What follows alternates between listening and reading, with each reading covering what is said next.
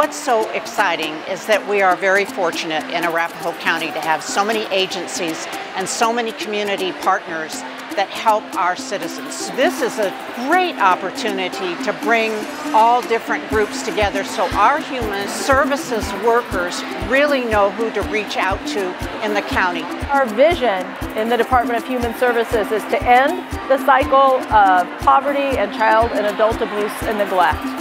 That old saying, it takes a village, well, I think this represents that because this, what you're seeing today, is really what comes together to help our vulnerable population succeed. We've got about 115 booths and we're expecting about 500 people here today. Our staff absolutely love this.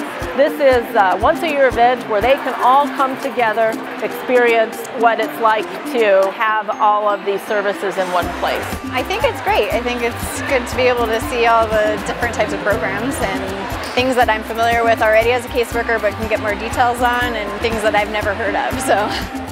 I'm learning a lot more about the providers when I'm asking questions about a need that needs to be filled. They're able to point me in the right direction or encourage me to go visit a new booth I maybe have never seen before.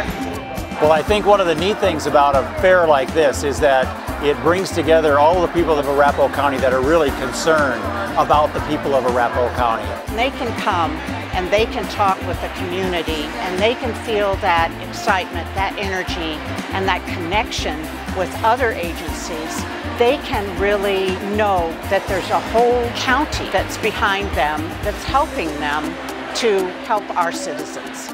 We work with all of these providers, a lot of them on a regular basis, and so it's nice to connect with them in a more informal atmosphere.